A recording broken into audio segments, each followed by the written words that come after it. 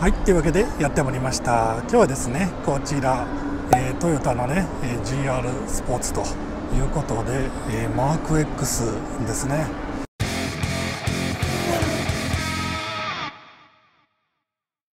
もうね販売が、えー、終了するということで FR 社でね V6 というねいやもうねもう希少な車になりましたよね。この GR モデルだけでもね、えー、そのまま売ってほしいなという感じしますけども結構メッキ使いがねところどころ綺麗にあしらわれてますね。ヘッドライトもね、えー、まあマーク X らしいね、えー、定着しましたよねこういったデザインね。まだまだ古さを感じません、うん、やっぱりねこのマーク X この横からのシルエットがねいやいいですよね。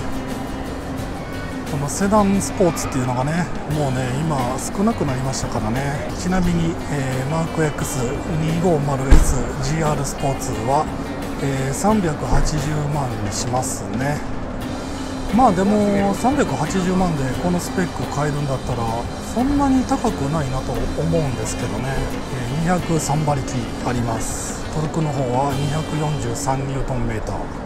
まあ、その分パワーで補ってるという感じですね。エンジンはね V6 エンジンということでね。もうこれがなくなるのは恐ろしいですよね。いやリアかっこよくない？これ。この GR スポーツのねマーク X いやかなりね私これかっこいいなと思いますね。この大人びたねスポーティーなデザインがいいと思いますね。あリアが開いた。今中の誰か乗ってる子供が開けてくれました。へえすごいこれふかふかカーペットよ。ふかふか。ふかふかのカーペットがこの辺ねトヨタらしいですよね。いやいいな。いやこのリアタイヤこれがね結構もうつらほぼつらでねあこれ出てないか。ほぼつらでかっこいいわ。ちょっと内装の方ね見てみましょう。トヨタらしいトヨタらしいデザインですよね。ああここにね、えー、GR というね、えー、デザインが入ってますね。シートの方もね、えー、GR 仕様ということでちょっと普通のタイプとどこが違うかよくわからないんですけど乗ってみましょう。はい。お邪魔しますと。お少しねあのハイソな感じがまだ残ってますよね。うん。マーク2小さとねよく走ってましたよね。まあ、これマーク X ということで、まあ、最後の、え、モデルになるわけなんですがあの俺これねほらぬるーんとねこれねトヨタっぽくて好きなんですよ。うん。やっぱこの革とかもねなんかちょっと使ってる素材がねちょっとすごいソフトタッチでねいいのを使ってるなという感じがしますね。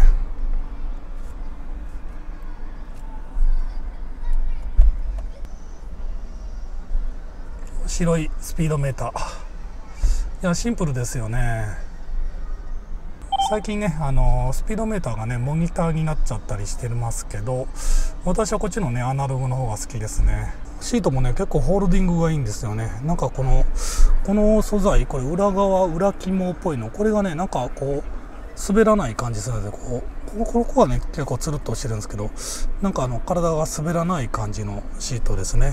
でも内装はそんな GR 感ってないんですかね。なんかこういうねロゴが入ってる程度かな。ハンドルが違うんかな。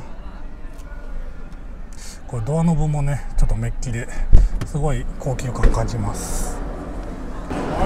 後部座席ねこんな感じですね。はい。やっぱりあの FR 車ということですごいね。すごいこれボコッとなってますうん。あゆとりの空間よ。ほらこれだいぶねだいぶドライビングポジションでねだいぶ後ろに下げてるんですけどほら余裕ですよ余裕。あ広いな。あいいね。マーク X いやこれもうそのまま販売してほしいですよね。何回も言いますけど。いや寂しさを感じますわ。えー、やはりねあの GR スポーツってこの白黒で統一されてるんですかね。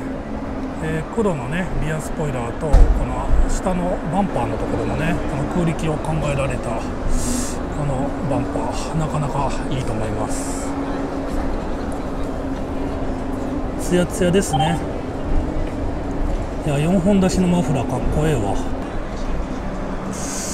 これは、えー、ダミーエアダクトになりますね。これは普通のタイプついてないかな。GR 仕様なんですかね。このバンパーごとねごっそり変わっちゃってる感じでしょうね。これはシールです。でホイールがねすこぶるかっこいいですよね、えー、こちらね19インチを履いております。235の 40R19 すごいホイールかっこいい。でキャリパーの方もねなんかブレーキキャリパーの方も白いんですね。えー、あ奥の方にスプリングが見えます。はいというわけで、えー、GR スポーツマーク X でした。いやなかなかスポーティーで大人びた、えー、車でいいと思います、えー、もうね、え販売中止ということで寂しいですね、え私のチャンネルが面白ければ皆さんグッドボタンお願いします。そしてチャンネル登録よろしくお願いします。はいというわけでマーク XGR でした。じゃあね。バイ。